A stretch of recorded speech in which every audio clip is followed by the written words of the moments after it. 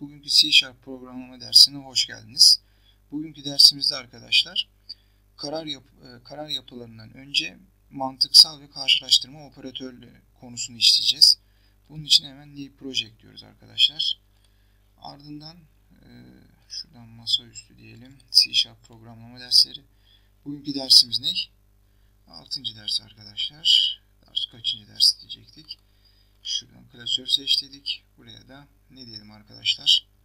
Operatörler diyelim. Ve projemizi başlatalım arkadaşlar. Şimdi arkadaşlar karşılaştırma ve mantıksal operatörlerde bilhassa da karşılaştırma operatörlerinde iki tane değişken türü var. Bir bool bir de boolean. Boolean arkadaşlar using system altında bir object türüdür arkadaşlar. Ama ben genel hatlarıyla bazı programlamalarda ya da programlar C Sharp'ta bazen bu using system ekli olmuyor ve bunun için de hata alabiliyorsunuz. Bunu ortadan kaldırmak için arkadaşlar bu değişken türünü arkadaşlar kullanabilirsiniz. Şimdi hemen tanımlayalım. Bool diyorum A, B, C, D, E, F, G diyelim arkadaşlar. Ve şöyle yapalım. A eşittir. 2 arkadaşlar büyüktür 1. B için arkadaşlar 1 küçüktür 2 diyelim. C için arkadaşlar ne diyelim? Ee, 2 arkadaşlar ya da şöyle 3 büyük eşit 2 diyelim arkadaşlar. D için e, ne diyelim? 2 küçük eşit 3 diyelim arkadaşlar. Ardından E'ye ne diyelim? 0 eşit eşit 0 diyelim. Ve F diyelim arkadaşlar. Burada şöyle diyelim. F'de ne olsun? 3 arkadaşlar eşit değildir. 4 diyelim. Şimdi burada Gördüğünüz gibi arkadaşlar bunlar karşılaştırma operatörleri olarak geçiyor. Bu ifa operatör büyüktür. Bu küçüktür. Bu büyük eşit. Yani burada gördüğünüz gibi 2'den büyük bir sayı var. 3 değeri bunun için true'u döndürecek arkadaşlar. 2 için evet 3'ten küçük evet true'u dönecek. Ya da buna 3 olsa dahi 3 e, e, eşit olacaktı ve true'u gene döndürecekti. 0 0'a eşit ve 3 bu da arkadaşlar eşit değildir ifadesi olacaktır. Mantıksal operatörlerde hemen bunları arkadaşlar bir yazdıralım bakalım ekrana. Konsol nokta right line diyorum arkadaşlar. Değerler sırasıyla diyorum. Şimdi burada arkadaşlar direkt şöyle yapabilirsiniz. A dedim. Ardından arkadaşlar şöyle yapalım. Diyelim. Ya bir saniye. Evet maalesef bunları ekli böyle tek tek eklemek zorundayız. Veya arkadaşlar bu birazcık böyle uzun olacak. Ben en iyisi şöyle yapacağım bunları. Süslü parantezler kullanacağım. 0 ardından arkadaşlar 1 diyorum. 2 diyorum. 3 diyorum. 4 diyorum. 5 diyorum. Kaç tane değişkenimiz var burada? A, B, C 7 tane. Sıfırdan itibaren 6 oldu. Ve arkadaşlar buna da 6 diyorum. Ve değişkenleri buraya yazmaya başlıyorum arkadaşlar. A, B, C, D, e, F, G. Arkadaşlar. Ama doğru G'de işlem yapmadığımız için şunu siliyorum. Arkadaşlar. Şöyle tanımlayalım. Değişkenlerde arkadaşlar buradaki sıfırıncı A'ya 1, B'ye 2, C'ye 3, D'ye 4, E'ye 5 ise F'ye denk gelmektedir arkadaşlar. Hemen konsol diyorum ki konsol ekranımız kapanmasın arkadaşlar hemen. Şöyle bir read key diyorum. Yani klavyeden girilen değerlere değer girinceye kadar arkadaşlar konsolumuz açık kalacak. Şimdi başlayalım. Hemen build edelim ve başlatalım. Hangisi G? G kullanılmıyor diyor. Tamam. Biz de bunu o zaman silelim. Gördüğünüz gibi arkadaşlar e, ne dedik? 2 e, büyüktür 1 true. 1 büyüktür 2 şey küçüktür 2 true. Yani genelde true'ların hepsini yazdırdık arkadaşlar. Eğer buraya 4 yazsanız mesela örnek bunda 4 yapalım. O ne olacak arkadaşlar? False olacak. Hemen debug'ımızda stop debugging diyelim. Bunu 5 diyelim mesela.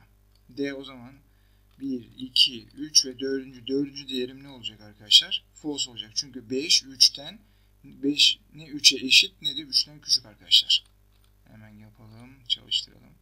Gördüğünüz gibi arkadaşlar false döndürdü. Bu yapılar arkadaşlar man, e, karşılaştırma operatörleri diye geçiyor ve e, karar yapılarında daha doğrusu if koşullarının içerisinde kullanılıyor arkadaşlar. Ve böylelikle arkadaşlar karşılaştırma operatörlerinde e, ekranı yazdırarak nasıl çalıştıklarını gördük arkadaşlar.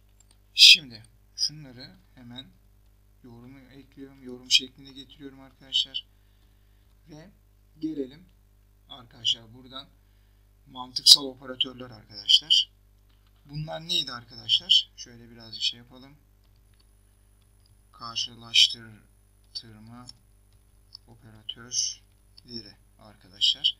Şimdi ise ne bakacağız arkadaşlar? Mantıksal operatörler diyorum. Mantıksal operatörler arkadaşlar birden fazla karşılaştırma operatörünü bir arada kullanan ve bu kullanılan yapıları karar yapıları içerisinde e, bizim kullanmamızı sağlayan operatörlerdir arkadaşlar.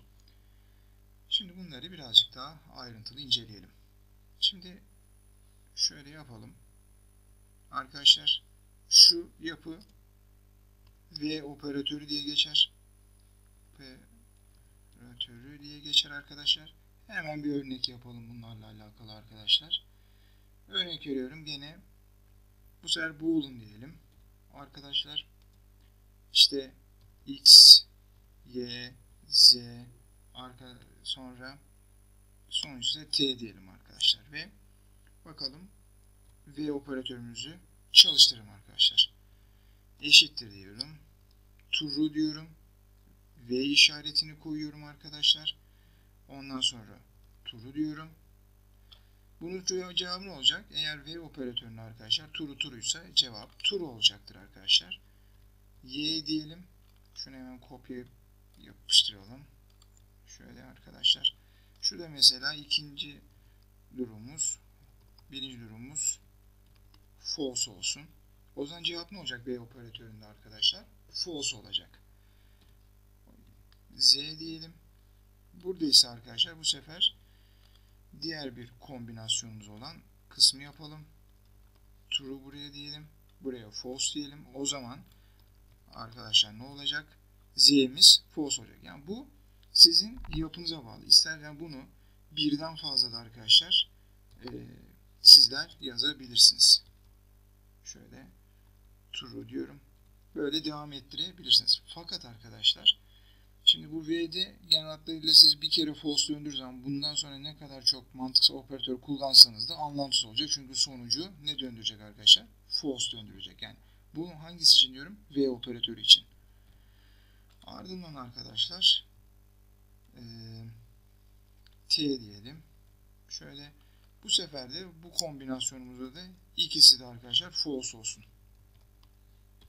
Şimdi o zaman bizim çıktığımızda ne olacak arkadaşlar? X'imiz V operatörüne göre true, e, Y true false olduğu için false, true false false. Burada ne olacak arkadaşlar?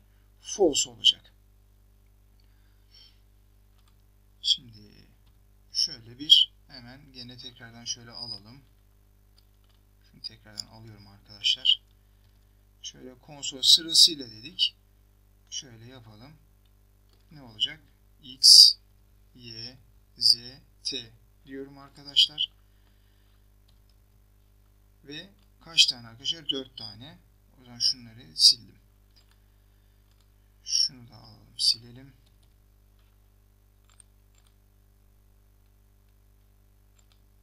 Ve start diyelim arkadaşlar.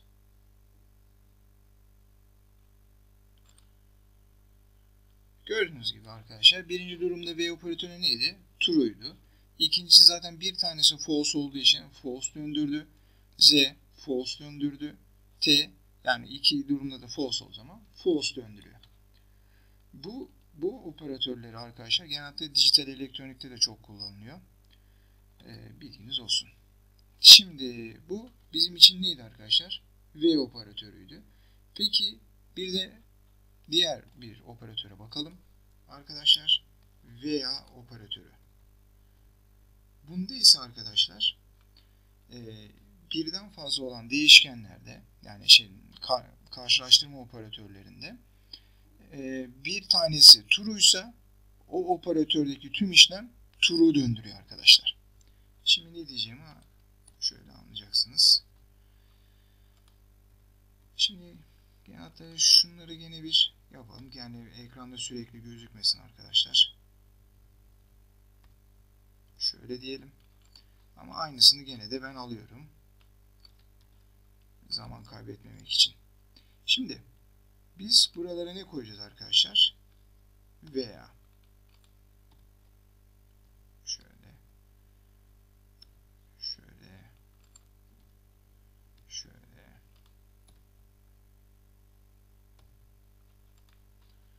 Burada arkadaşlar veya yapılarında bir tane tur olması yeterlidir arkadaşlar. Yani siz buraya sürekli veya veya dediğiniz zaman bir tanesi turuysa bütün işlem turu döndürür arkadaşlar. O zaman nedir? X turu olacak. Burada bir tane de turumuz var. O zaman turu döndürecek. Z burada bir tane turumuz var. Turu dönecek. İkisi false olduğu için otomatikman false gönderecek arkadaşlar. Hemen build diyelim ve çalıştıralım. Gördüğünüz gibi arkadaşlar 3 değer turu ve en son değerimiz zaten hiçbir tane turu olmadığı için arkadaşlar veya operatöründe ne yaptı? False yazdırdı arkadaşlar. Sonlandırdık. Ondan sonra e, mutlak V yani diğer bir anlamıyla V değil operatörü arkadaşlar. Bu V değil de hani V gibi değil. Aslında aslında şöyle iki tane değer eğer turuysa yani sonucu turuysa bu false'a false'ı turuya döndürüyor arkadaşlar. Şöyle yapalım. Mesela şunu da tekrardan şöyle paranteze alalım arkadaşlar.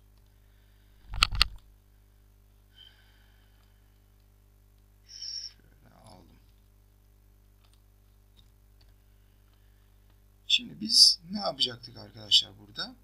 V değil. O zaman şöyle iki tane değerimi ben sileyim arkadaşlar. Ya da silmeyelim. Şöyle dursun. Buraya ne koyacağız arkadaşlar? V değil. Şöyle yapalım. Şöyle. Şöyle. Şöyle koyduk arkadaşlar. O zaman arkadaşlar burada V değil işlemini bir gerçekleştirelim arkadaşlar.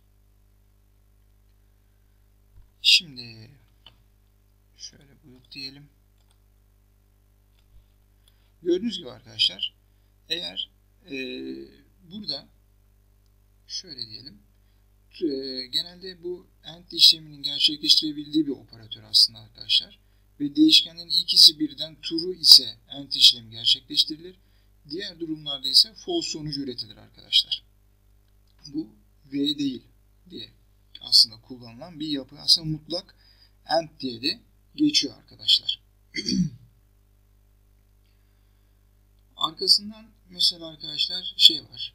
Veya değil var. Bu da şimdi onu da göreceğiz. OR işleminin gerçekleştirebildiği bir operatördür bu. Değişkenlerden birisi true ise OR işlemi gerçekleştirilir. Diğer durumlarda false sonucu üretilir arkadaşlar. Yani burada true true'ysa true yani içlerinden bir tanesi true'ysa sürekli true döndürecek arkadaşlar. Az önce de kusura bakmayın arkadaşlar. Bu e, V değil de kafam şeylere gitti. Dijital elektronikte. Exor yapılarına gitti. E, şimdi şunu bir durduralım. stop debugging diyelim. Ardından arkadaşlar şunu da kapatalım. Yani bu aslında e, ben genel hatlarıyla V'de arkadaşlar e, tek ent yapısını kullanıyorum arkadaşlar. Ya aslında ikisi de mantıklı yani kullanabilirsiniz. Şimdi şunu alalım tekrardan. Şöyle bir de bataryaya bakalım. Şöyle.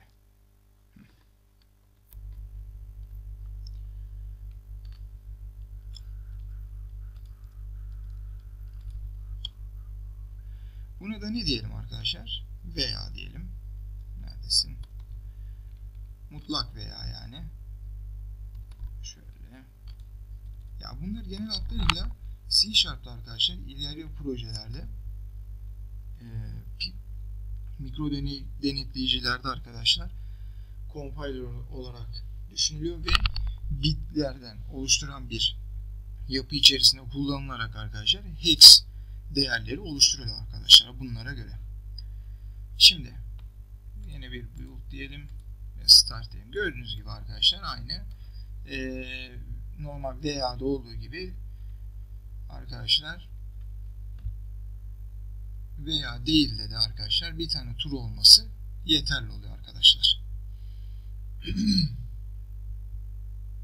bir de arkadaşlar bir yapıdan daha bahsetmek istiyorum burada. Ee, C programlamada hani bunu belki de hani hatırlıyorsunuzdur. İşte soru işaretli bir yapı yani üçlü operatör diye geçiyor arkadaşlar. Bu üçlü operatör yapısını da arkadaşlar sizlerle işlemek istiyorum arkadaşlar. Şimdi tabi buna geçmeden önce aslında bir konuyu daha atlamadan geçmek istiyorum. Bir de arkadaşlar şey var. Değil ifadesi var. Yani true'ysa false, false'sa true'ya döndüren yapı arkadaşlar. Onu da aynısını bir gösterelim. Şimdi mesela şunlardan iki tanesini şöyle alalım.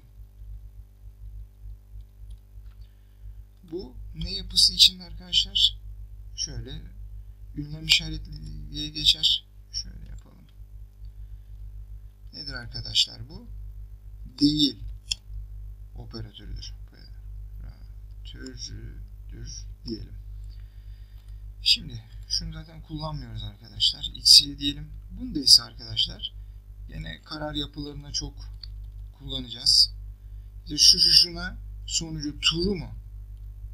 Önüne arkadaşlar ünlem koyarak bunun değilini oluşturuyoruz arkadaşlar. Şu şekilde. Değilini ne yapıyoruz? Oluşturuyoruz. Şunu silelim. Yani benim koşulumda arkadaşlar bir şey turu ise bu false'a false ise true'ya döndürüyor arkadaşlar. şunları şey yapalım.